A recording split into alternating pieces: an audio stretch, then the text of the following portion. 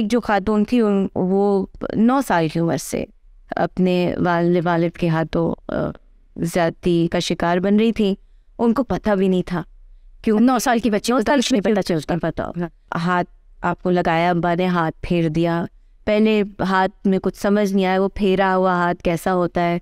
पर माँ तो वही होती है बाकी बहन भाई भी वही थे। ये चार बच्चों की फैमिली में तो छः लोग हैं घर में यहाँ अब वो खात बच्ची जो है उनको फिर वो बालिग हुई और अच्छा इसी असना में माँ ने भी देखा। कमरे में आके वो she walked in on to them and उन्होंने खामोशी से दरवाज़ा बंद वापस चली वापस चली गई। तो बच्ची बच्ची समझी कहती मैं उस वक्त यही समझती थी कि ये नॉर्मल है। मेरे ऐसा से बहुत प्यार करते हैं हाँ।